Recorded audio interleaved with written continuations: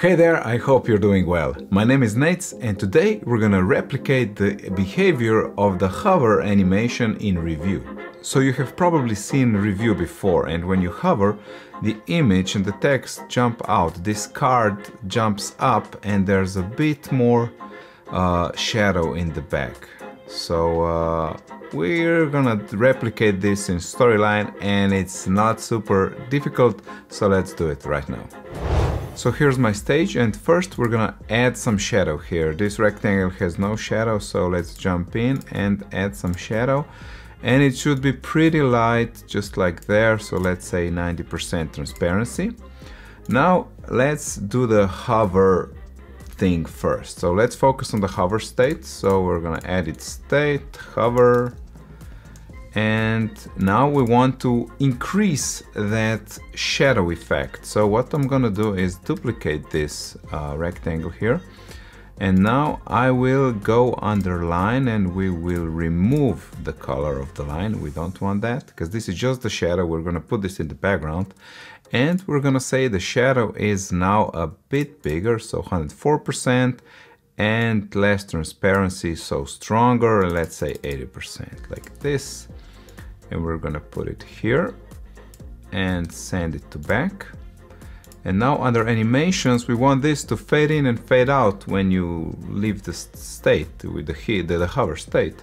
So fade 25 fade 25 and let's have a quick quick preview. Okay nice effect there now the animations Let's insert a motion path. Animations, add motion path, and we're gonna go up 15 pixels. Yes, I have tested this beforehand. So 15 pixels is just the right amount for this. And let's, and we want the same timing like the hover, the, the, the shadow effect, so 25. And we're gonna call it up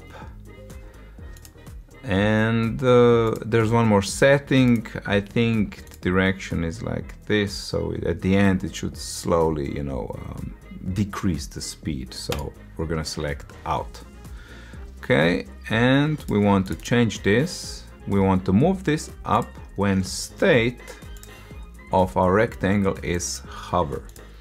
Now maybe you would want to change this to when mouse hovers over but from my experience it's not the best practice. Sometimes this could have some strange consequences. It doesn't work exactly as as you as you would expect. So going with the states is a safer bet.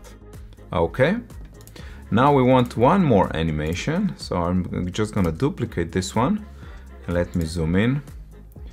Uh, so this one we can quickly see this one is the other one. So let's call this one down and I'll just reverse these two so start and end position, it's all absolute.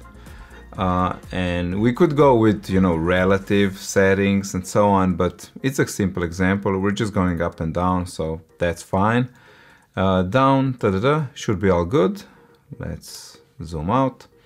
And we're just gonna, we're gonna duplicate this trigger and move down when state not normal, don't go with normal that because it could trigger at the beginning of the slide. So we want to say is not hover.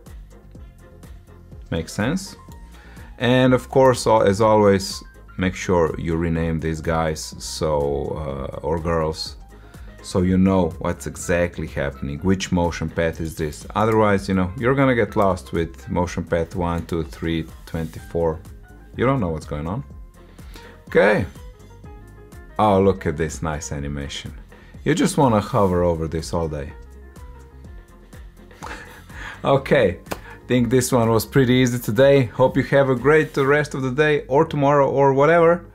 And I'll talk to you in the next video.